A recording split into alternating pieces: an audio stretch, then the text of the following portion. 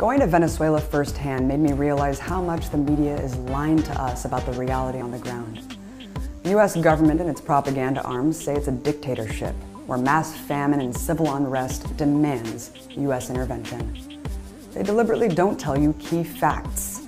An economic war being waged inside by private businesses and outside of the country by crushing US sanctions. Trump's sanctions have debilitated the Venezuelan economy, costing them $6 billion just in the last year. And sanctions do exactly as they're intended to do by hitting the poor and working class people the hardest. Their strategy is to starve the people into submission, then cynically use that humanitarian crisis as the premise for more intervention. They say that millions of people are demanding the ouster of Maduro. What they deliberately don't show you are the millions who support Maduro, who voted for him, who are also in the streets protesting this criminal coup attempt. They say that a coup is democracy, that Guaido is restoring the Constitution by declaring himself president in a country that just held a presidential election last year.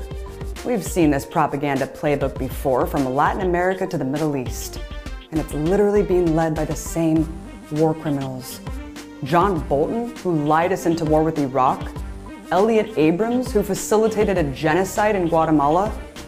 One million Iraqis died for a war based on lies, paved by the so-called free press. They're doing it again.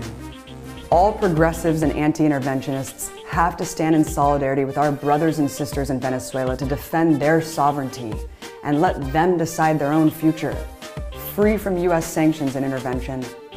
We must call this what it is, an illegal coup underway by the bloodthirsty Trump regime to overthrow one of the last remaining independent nations in Latin America and plunder their oil. Trump has already threatened military intervention. Millions of lives are at stake. We need your voice now to speak up and speak out against another U.S. war for oil. Hands off Venezuela.